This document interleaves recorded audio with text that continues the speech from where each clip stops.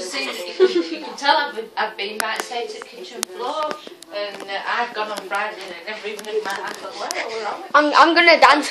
Hold it. Some notice. Just there a big Please, you.